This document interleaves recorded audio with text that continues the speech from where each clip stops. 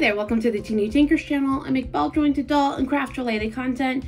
You're here and it is the end of year BJD tag video. I did this last year, uh, maybe the year before. Was I on YouTube? I don't remember, but I definitely did this last year. And um, I plan on continuing to do it because it's a nice way to kind of wrap up the end of the year and see like what I've done in the hobby and all that kind of stuff. So yeah, we're gonna get right into that. Question number one is show us your doll family as it is right now. So uh, I'm going to take you on a tour of the dolls. Um, I'm not going to pull them all out. So let's do that.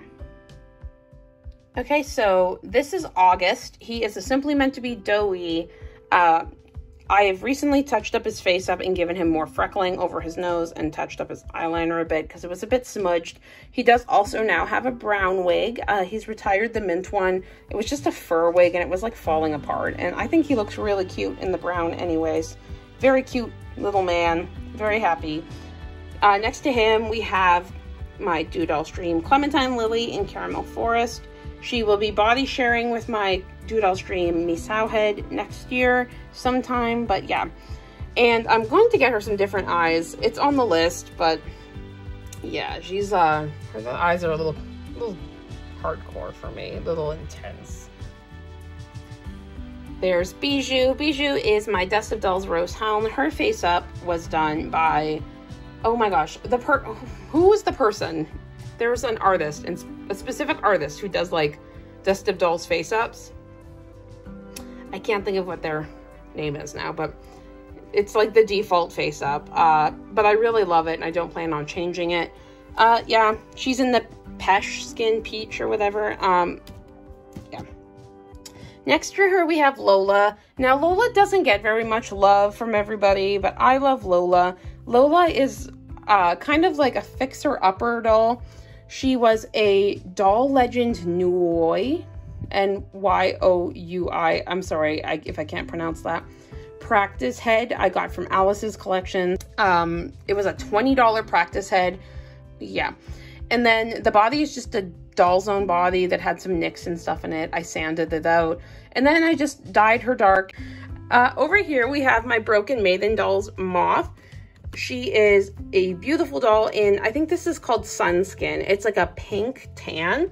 It's a really unique and interesting. Her face up was done by the artist and as requested, gave me some sad eyebrows and freckles to work with. Um, and I could not be happier with it. Honestly, I don't normally like dolls with this much jointing because she has a lot of joints, but I I freaking love her and I cannot wait to see what the artist does next. Oh my gosh. Next to her, we have ACDC dolls, uh, Tink, her name's Aera this is like my all-time favorite doll people. Um i i love this company. The body is so cute and curvy with like the softest cutest tummy. Um this is still the company face up. I still love it. I'm afraid to change it because i love her so much. Um i i don't know how many nice things i can say about this doll. Um yeah if if you guys have never heard of acdc dolls you guys are sleeping on them because like they are such Oh, this is such a cute doll. Look. Ah. Okay. Next to her, we have uh, my brand new, as of like yesterday, um, Glowmoon Dolls Boudi. She's in her like sleepy faceplate, which is my favorite.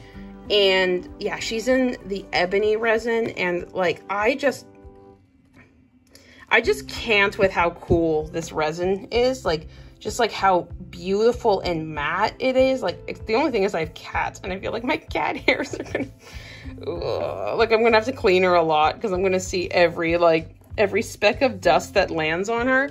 But yeah, I also tried to give her a face up. So there's some like residue from MSC. So I'm just gonna wipe it off completely because I don't know how to face up resin this dark uh, without doing white liner, which I didn't want to do. So I'm just going to wipe it and just leave it blank for now.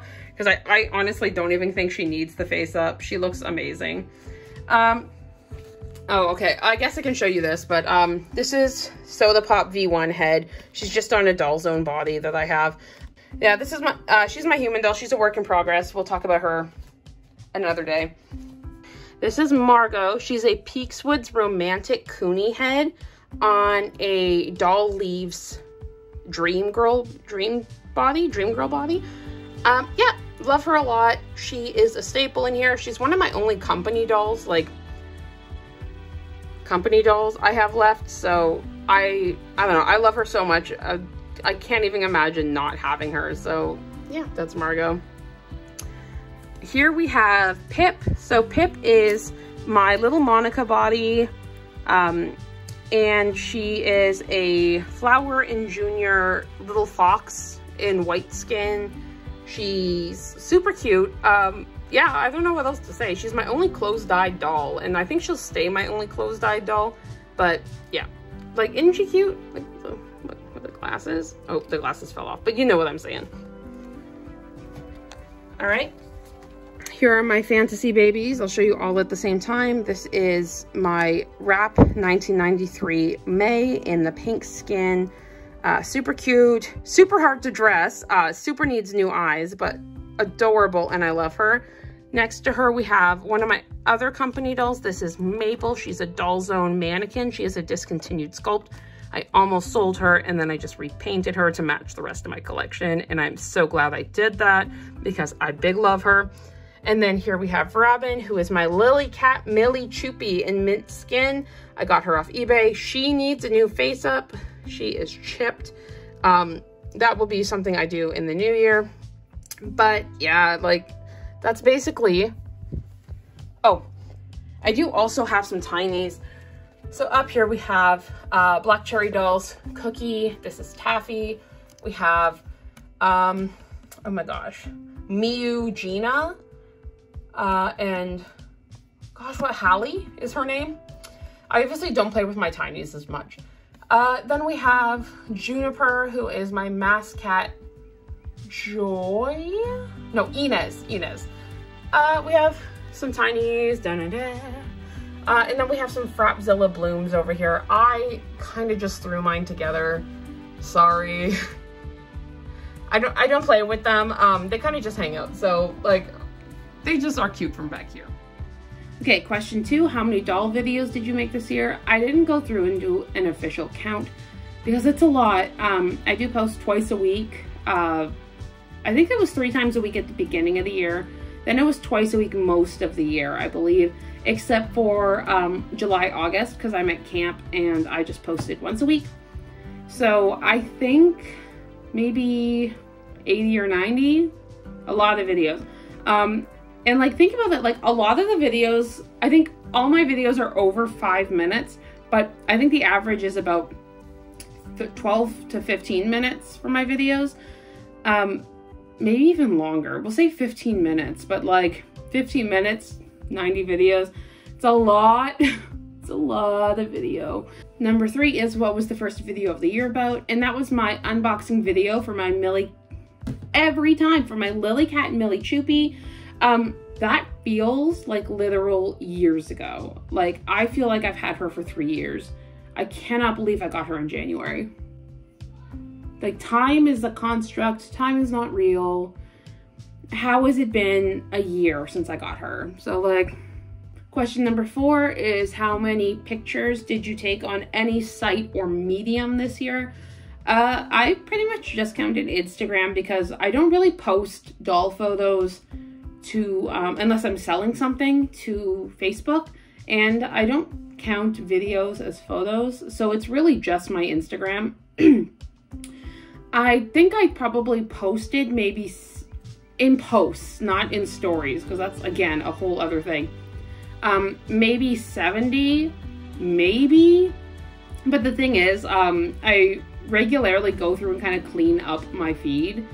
Uh, I'm trying to take better quality photos. That's going to be like a big goal for 2022. Question six is tell us the best thing that happened to you in the doll hobby this year. And there's been a few. Um, it's really hard to narrow this down. Okay, so I'm going to narrow it down to probably the most obvious choice. I'm sorry, but uh, a lot of great stuff has happened this year. But of course, the greatest thing that's happened this year is I finished Hollow and a lot of you guys loved her and I got to host a pre-order for her. Um, and I should have, they should be sending me the sample really soon. Um, that's the best thing to happen to me this year. I fully anticipate that the best thing to happen to me next year will be getting the dolls in and like maybe if I get um, Clover's sample done too, uh, that will also be an amazing thing. But yeah, definitely getting Hollow done. Um, huge, huge thing for me in the hobby this year. Going from, uh, I'm still a collector, mainly, I would say, 50%. Um, going from collector to artist, collector artist, color, colorist, colorist. I don't, I don't know, but what what it is. Um, but yeah, uh, it it was amazing. Oh, thank you. Thank you. Thank you. My husband just casually making appearances in all my chat videos recently. um, okay, so question number seven is what is the worst thing to happen to you in the hobby this year? And honestly, okay, so every year I do a Christmas craft exchange. It's been posted recently so there's a lot of kind of like swaps and stuff like that that is USA only and like North America only or like whatever. And I always think that that's like I get it, but it's also a bummer. Like it's a big bummer. Um this is not the coffee and dollies. Uh so I really wanted to keep it open like to anybody internationally. You didn't have to have clout to join. You didn't have to like be someone I knew personally. And because I was so open about it, I think I shot myself in the foot because two people were super communicative until I sent their packages and then they ghosted me. But like, yeah, I, I, got fully ghosted by two people and like, that's a bummer. And it's not so much a bummer that it's like, oh, I didn't get a package from them. That's not the, the bummer here is I really wanted this to work for like everybody um, because next year I'm going to be more selective now about who can join the craft exchange. Um, so that's a bummer for me, but uh, I'm gonna have to tweak it and either limit it to people I actually like talk to on a regular basis, um, and or you have to have good feedback because a couple of these accounts didn't have good, like didn't have any feedback and I just figured they were newbies and then they ghosted. So yeah, what are you gonna do? You live, you learn. So question number eight is the best things you got this year. And obviously besides Hollow and Clover, um, who are like my completed dolls, are obviously Clover's not cast or anything yet, um, but she's 98% done. Uh, okay, so besides that though, um, non-doll item would be my Elegoo Mars Pro 2 um, this has just opened up a world for me of making my own prototypes, um, which is so great because that means I can like do a print, like a test print, modify it, then print it again, and then if need be, modify it again, um, which is fantastic for me. I love that. Uh, it also means that I'll be able to offer minis in the new year. Um, so keep an eye out for that. But yeah, limited because I am one person, one printer. So very limited. Um, but yeah, uh, that was the best non-BJD item I got. Um, the best doll I got in 2021 was...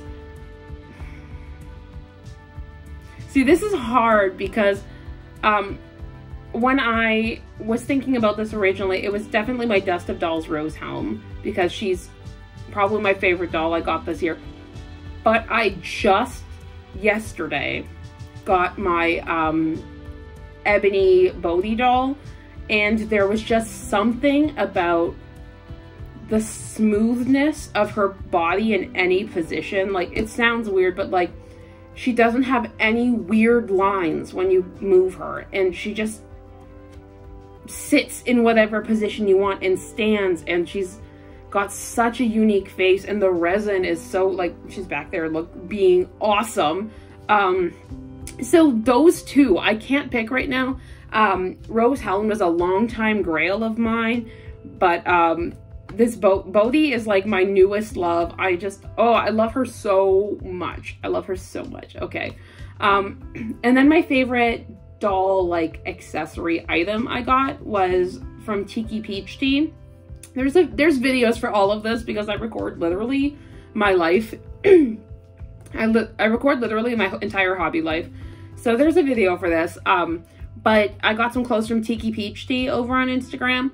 And it's this um, plaid pinafore with a mushroom on it. And I love it so much. And it doesn't really fit with my current aesthetic. So they don't wear it very much, but I friggin' love it. And I... Ugh. I think I might have to start making an exception for it because like or find a way to pair it because it's so freaking cute. I love it. I love it so much. Um anyways, and then also um my like cotton honey haul, everything from cotton honey I got. I really really loved. Really fit like the look I'm going for and everything. Great. Love it, love it, love it. All right, finally, question number nine. What is your New Year's Dolly resolution? And mine is going to be that um, for funds, I'm I only want to buy three to four dolls tops next year. Um, I bought a lot of dolls this year, and that doesn't include the dolls that I have coming in, um, because I do have a bunch of dolls coming in, but realistically, I'm gone most of the summer. We're looking at buying a house next year. It's just gonna be too chaotic if I'm having to like chase down dolls all the time. So there's only a couple pre-orders um, that I really am watching. I Again, there's a lot of variables. I need to see pricing. I need to see when it's released and stuff. Um, uh, I feel like I got a lot of what I wanted, almost everything I wanted um, that's avail everything I wanted that's available I've got. Um, my grails are currently in production, but I want to keep it to three or four dolls tops next year.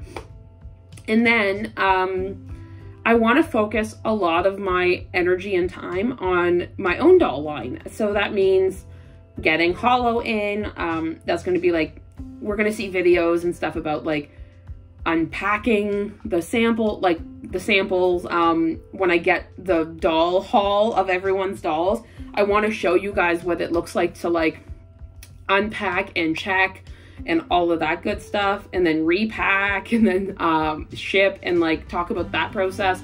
I want to talk about getting a doll ready for caster. I mentioned that video before, getting Clover ready. Um, I want to uh, release affordable mini dolls for people. Um, so that'll probably like, that's going to be something I really want to focus on. All right, um, that is the end of year BJD tag 2021. Uh, I hope you liked it. Um, let me know what you think about all this. Uh, let me know who's in your collection right now. And keep an eye out because I will have a Dolly plans for 2022 video, like with more of what was in the last question kind of laid out. Uh, yeah, that'll be coming up in the new year. Uh, also, stay tuned because there is going to be so many unboxings of all the dolls I've bought in 2021. They're all coming in at the same time, so so many unboxings. Uh, besides that, and as always, I hope you have a fantastic day and a happy new year. Bye!